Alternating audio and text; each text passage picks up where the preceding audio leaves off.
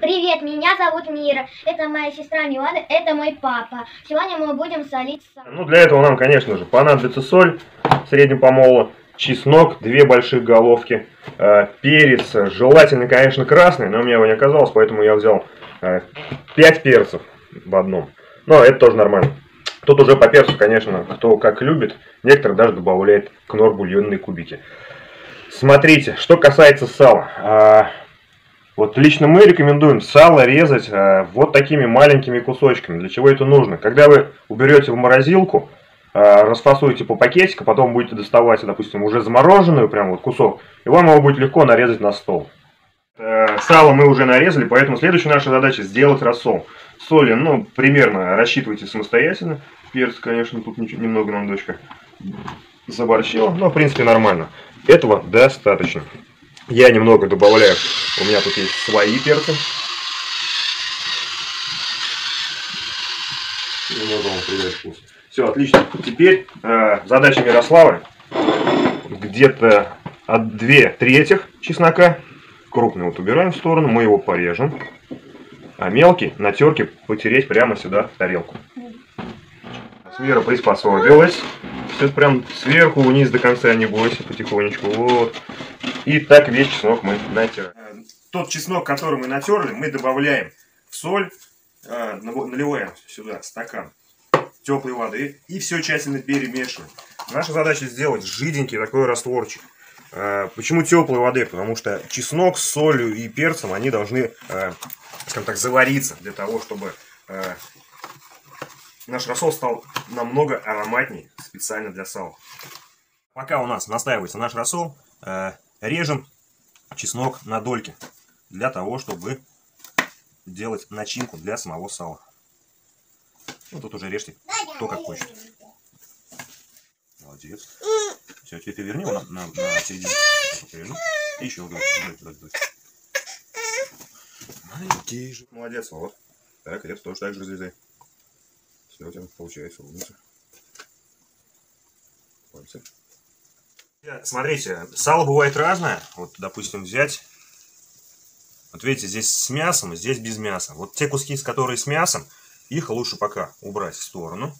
Потому что мясо, оно солится быстрее, чем сало. И потом получается здесь вроде одного, одной консистенции у нас, а, а- одного вкуса сала. А мясо пересоленое. Поэтому мясо надо ложить сверху отдельно. Берем кусочки сала наши. Вот где основание у нас а, между шкуркой делаем вот такой протык. И прямо туда засовываем чеснок. Вот сюда вовнутрь. Отдаю помощнику. Все, Мирослав, прямо обваливай его. Соли прям не бойся. Да, да, вот так вот прямо прокручивай. Вот так. И укладывай в ведро. Я пока следующий. Молодец. Следующий кусок. Держи.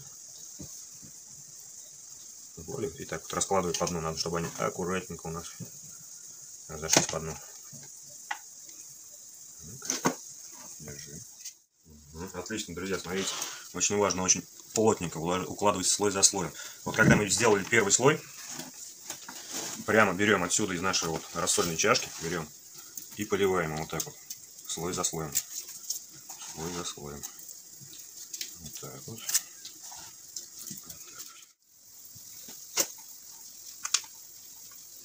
У нас уже второй слой.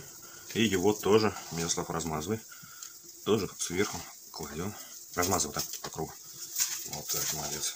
Итак, это у нас два слоя без мяса. Сверху сейчас мы будем укладывать с мясом. Все, сверху начинаем укладывать с мясом. Мясом кверху.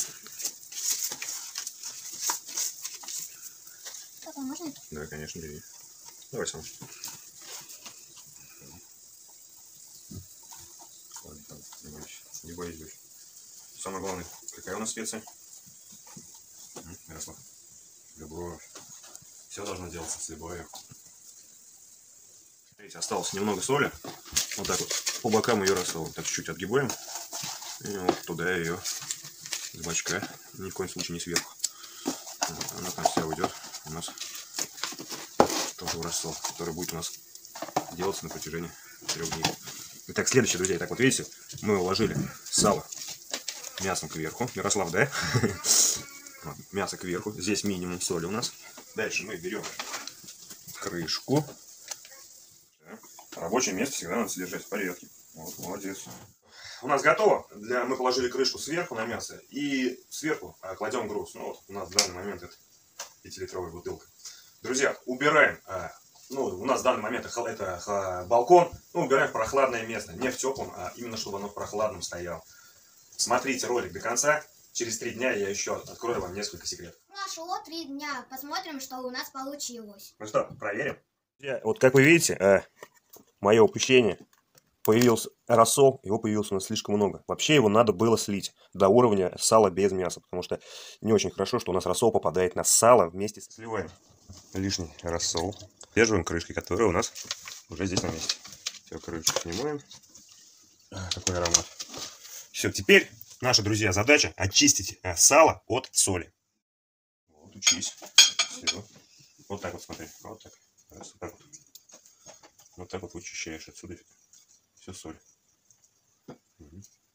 Поняла? Угу. И, и вот себя ножом всегда работаем. Вот себя. Ага. Давай, давай, продолжай. Вот, молодец. Все, вот чем. Всю соль надо убрать, потому что, э, когда мы его отправим на заморозку, э, и когда мы уже вытащим, э, сало должно быть готовое для резки, чтобы подавать на стол. Соли на ней никакой не должно быть.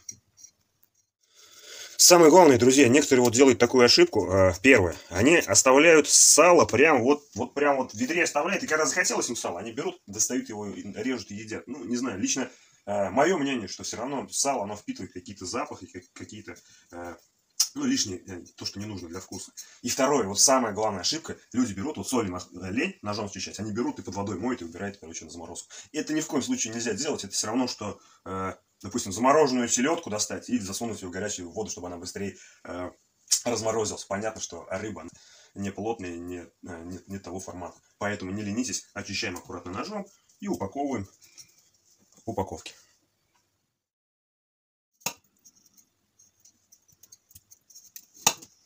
Вот себя, вот себя всегда. Я от себя. Ну, ничего страшного. Видите,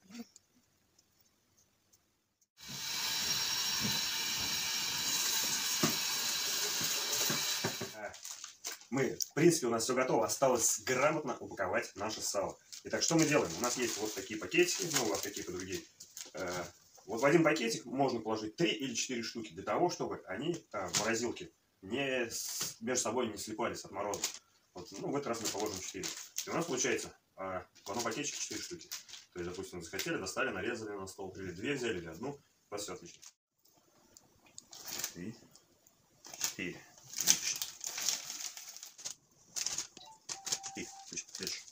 Встань. Вон.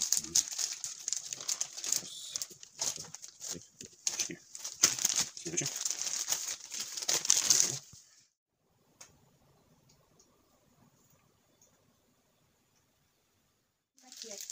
Это тоже по-своему важно.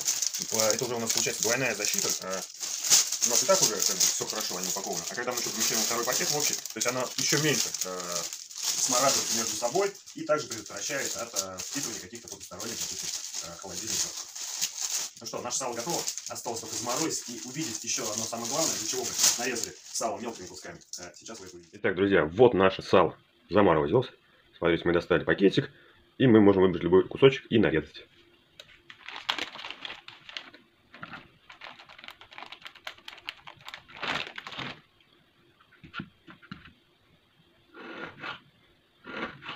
Как видите, да? Сразу маленькими кусочками, какими нам надо. Спокойно нарезали. И подали на стол. Ну что ж, друзья, на этом и все. Приятного вам аппетита.